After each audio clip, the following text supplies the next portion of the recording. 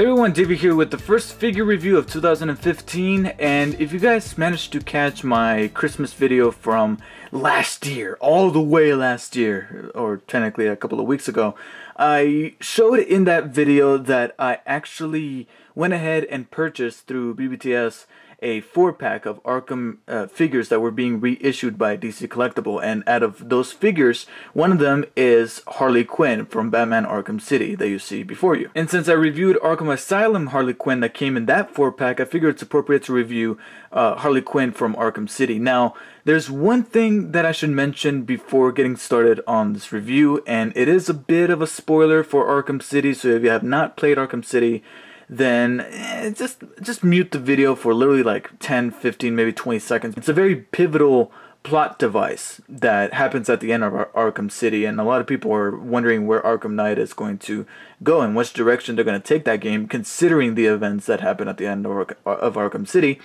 And one of eh, that event actually has to do with the design of Harley Quinn here.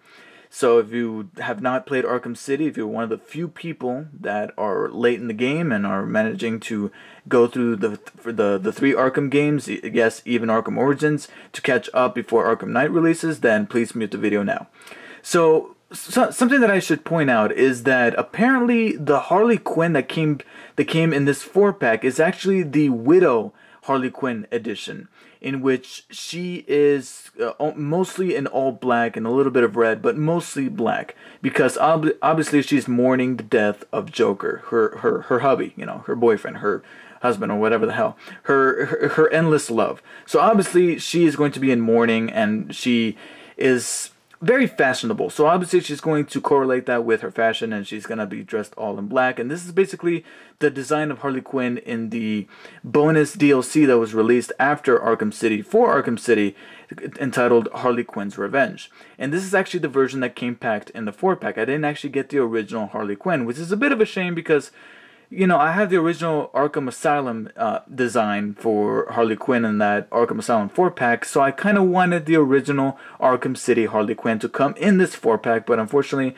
I only got the Widow version. However, I'm not going to complain too much because I mainly bought the four pack so that I can collect the Arkham City Batman, so I can have like all Batmans, especially after the Arkham Knight version is going to get released.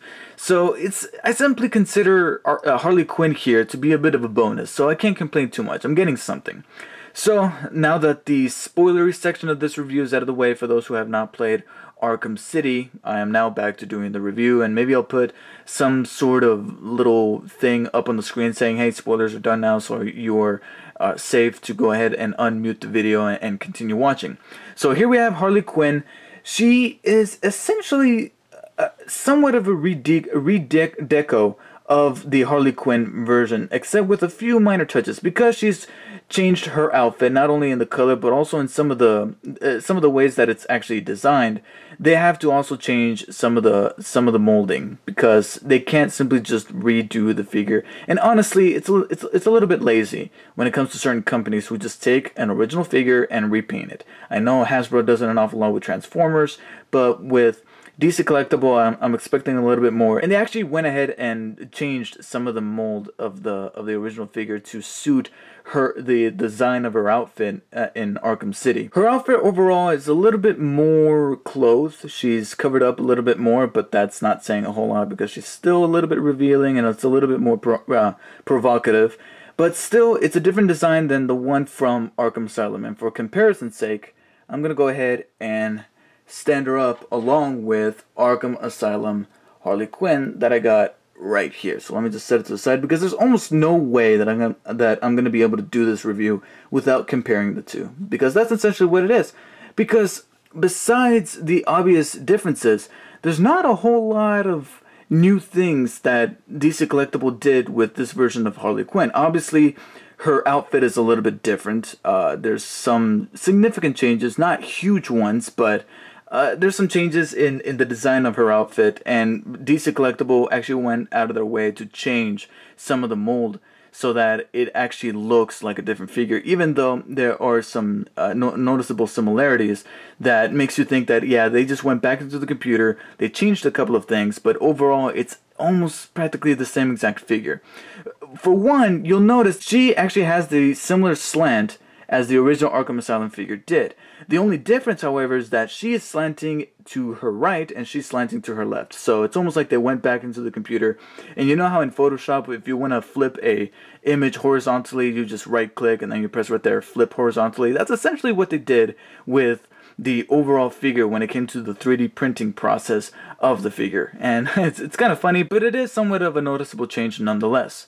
Uh, her articulation is essentially the same exact thing as well. Her head rotates 360 degrees, like so. Her arm can rotate vertically 360 degrees as well as uh, rotate horizontally, like so. It only goes about that far, but it's actually a little bit more, it, it actually has more mobility than, I'm sorry, I'm blacking out the light that right there, but it has just a little bit more mobility because one of the changes in the mold is that she doesn't have that part here that is part of her outfit in Arkham Asylum. In the Arkham Asylum version, she has this portion of her outfit that kind of hinders the movement of her arm a little bit. So that was somewhat of an issue, but I couldn't complain too much because, hey, that's part of the, the design. Over here, because her outfit's different, and they went ahead and molded the figure accordingly, she's actually able to move her arm just a tad bit more. Not as much, not too much, but a little bit more. She also has the bicep swivel right there. She can bend at the elbow and wrist articulation with a swivel joint right there. The same exact thing for the other arm, so not no need to go into that. No waist articulation once again, so that's a bit of a bummer. And if you didn't already notice right there, her belt can actually move around similar to how her skirt was able to move around too. Fortunately here, because it's not a skirt, I don't mind the belt moving about because she still has pants underneath. Whereas over there, that was a little uh, too pro- provocative for my taste, especially considering this is an action figure. You know, I like my women to be, you know, real. what I do like about this belt, though, is that in a nice little homage to the Arkham Asylum Joker, she also has a chain right here that's actually real. Now, when I say real, I don't know if it's actual metal or if it's simply just plastic, but because it's so small, I can't really tell. So, similarly to the Joker, I don't know if this is actual metal or plastic, but just like the Joker. It's a nice little touch. And then you got her legs right there. I like the design overall because it looks nice. You know, the, the molding is very accurate. But the articulation is practically the same. You can move her leg that far back and that much forwards. Doesn't really extend horizontally. You can make her do the splits, unfortunately. Even though Harley Quinn will look like the type of girl to use that in her fighting style. You can bend at the knee about that far and just like the original Arkham Asylum Harley Quinn, that is actually about it for the articulation in her legs. And while I have the feet on camera, I think it's interesting to note that this time she does not have any platform boots. She does have a platform heel of some kind there, but it actually starts to end right about there at her tippy toes. So because of that, she's actually a little bit shorter than the Arkham Asylum Harley Quinn. Let me get her standing right here. And there you go. If you couldn't already tell, she's actually a little bit shorter than Arkham Asylum Harley Quinn. But again, it's mainly because of the molding. Like you, you saw right there, he, she doesn't have the platform boots anymore. She does have heels, but they start to end towards the as you get closer to the, her tippy toes. But also, her hair is um, differently molded, and it's not as huge so obviously it's not going to be it's not going to reach as high as her hair does over here. So that also kind of makes her seem a little bit small. And needless to say the paint applications are a little bit different, but the the little attention to detail is still a little bit more prevalent. Like I stated with Arkham Asylum where they actually went ahead and wrote out the text that it's actually on her ID tag there on her chest, which I thought was a very interesting touch, as was the vibrant detail in the paint for her face. It is actually a similar case with Arkham City Harley Quinn over here.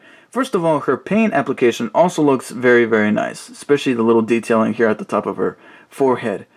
And, you know, they captured that very well, as well as her hair. I mean, it's not as detailed as the other one, and again, I, I wish I could have seen what they did with her hair in the regular Arkham City version where it's blonde and then you got the red tips here.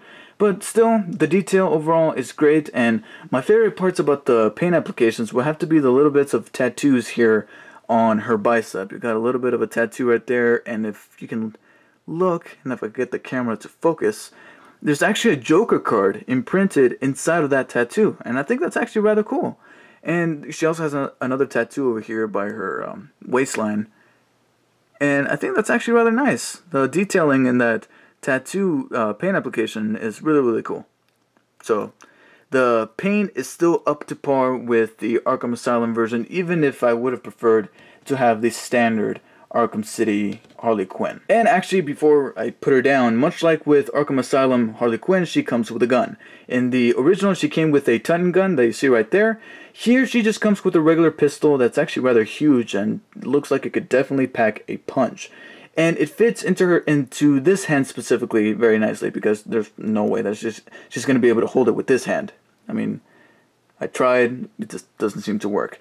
The awkward thing, however, is that her index finger is extended and doesn't really wrap around the trigger, or at least where the trigger would be, so it looks kind of awkward.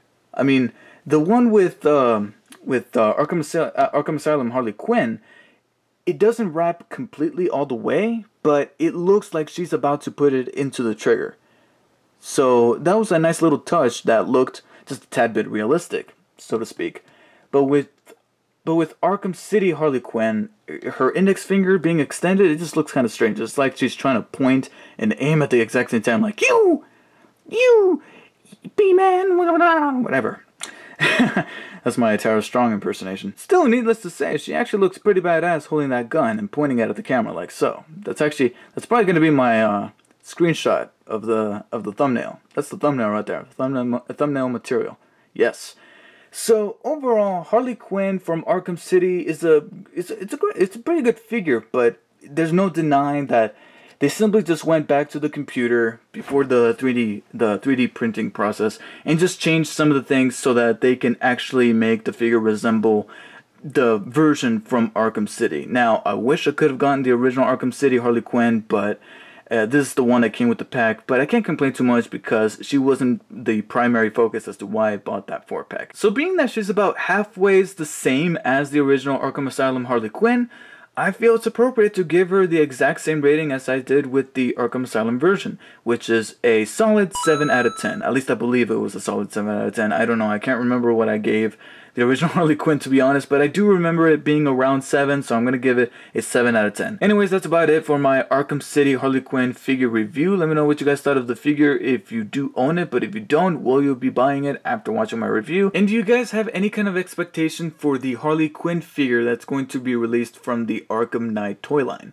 I personally feel like she looks just a tad bit weird, both the design of the figure and the design of the character and the game in general because it's just kind of weird to not have her have something around her eyes, whether it be makeup or a mask like you see before you. She she looks almost like a different character, but that's just me.